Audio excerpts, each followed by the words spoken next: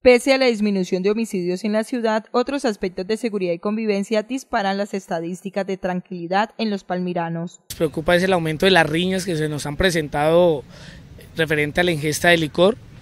Tenemos el control de la movilidad de motocicletas, parrillero hombre, la movilización de 45 motocicletas solo por parrillero hombre. ¿Estas modalidades de riña generalmente en qué sectores se están presentando? Como una 1 y como una 5 causas se saben por cuál arrancan estas peleas? Consumo de licor.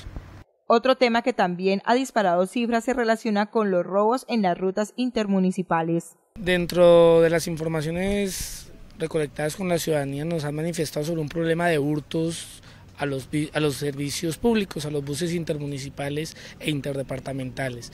Recuerde que usted puede contribuir a la seguridad llamando al cuadrante de su localidad o a la línea 123 de la Policía Nacional.